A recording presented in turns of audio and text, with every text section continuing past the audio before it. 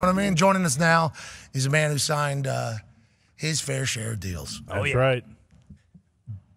Large ones. Yeah. record setting.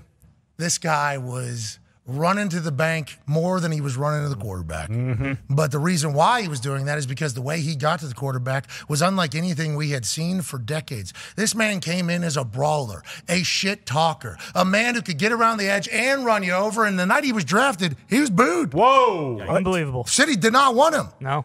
What would he do later? Oh, whenever that city needed somebody, he would step up and help all his citizens because he felt as if he was just a member of the community down there. You would watch the Houston Texans play a game in person, and every single commercial that would run on the Jumbotron had JJ Watt mm-hmm. on it. You know, sometimes teams will have like car dealerships that go ahead and get local sponsorships or like a local doctor, a local lawyer, and they'll team up with a player. You know, and that player will do an ad read for a local thing, and then there'll be a picture on it. Every company in Houston did a deal with this guy. And there was a reason this guy was the culture. Ladies and gentlemen, joining us every single week, today being the first time, a three time Defensive Player of the Year, future Hall of Famer, JJ Watt. Yeah! You look sweet. You look sweet. You look sweet. Thank you.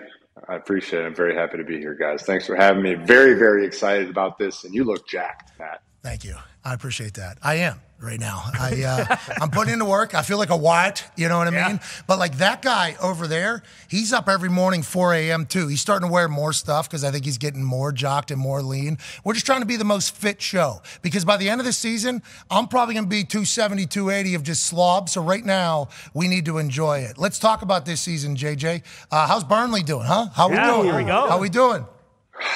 We're having fun. Uh, we're, Oh, we okay, that's all that matters. yeah. We're coming out of the international break now. We've had a little bit of a rough start. We played, I mean, we played the best team in the world to start the season, which was a tough start. Yeah. Um, but we've had the international break to get some of our new signings accustomed to our team, learning our style. Culture. And I'm really looking forward to the matchup against Nottingham coming up. And uh, that's a big one for us. Nottingham's It'll be big good. one. Oh, hey, Nottingham when they come to town, though, Yeah. Yep. boy, Gritty. Hope that Burnley squad's ready because in the crowd there's going to be some shenanigans Oh, Throwing yeah. fists. from the hooligan. Oh yeah, I feel like we got a hooligan crew right here. If we took this crew over there, we could do some damage. yeah. Yeah, I'd, first first flight to Scotland, I'd go. Mm-hmm. Right away. It's in in England. I, actually, I should probably learn if England and Scotland are the same thing. Yeah, see, whoa. that's not good. Yeah. You're an Holy owner over there. You're one of the faces of the team. I mean, we can't have Jeez. that. I would love to go watch. No, Yeah, go ahead. a McAfee show live from Turf Moor uh, in Burnley.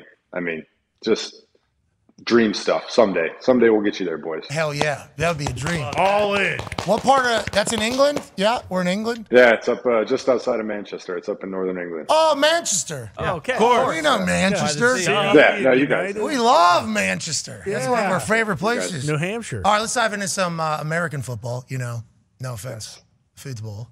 Uh, this weekend, your brother went uh, ham. Now, I assume this is something that you expected. It was also revealed that he beat your uh, number of games to get the 80 sacks record by like four games or five games or something like that. You had an NFL record. Your little brother beats it. I assume this is something you enjoy seeing, or is it uh, still competitive banter about your career being greater than his career, him trying to catch you falling pools? What is the relationship between you and TJ? And uh, how do you genuinely feel about TJ and the history books of the NFL as a pass rusher? No, I, I I'm extremely happy for him. Um, we give him plenty of shit uh, as a fr- as a brother, as a friend, as like uh, you know. There's lots of stuff. He he tried. He sent a text message to me and Derek of his entrance where he does the jump, and he was he said like highest vertical jump in the family.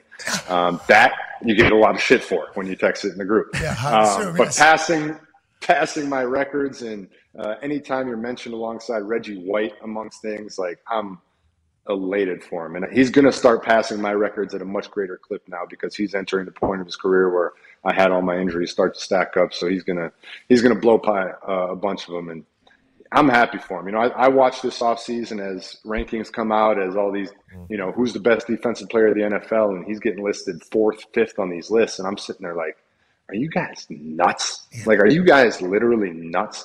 And then he goes out there and he just reminds everybody real quickly why he's the best defensive player in the world. And three sacks, two forced fumbles. I mean, they had a very, very tough day. The 49ers played incredibly well. Um, and they're an unbelievable team. But he is uh, picking up right where he left off, and he's going to have an incredible year. Thank you for watching ESPN on YouTube. For live streaming sports and premium content, subscribe to ESPN Plus.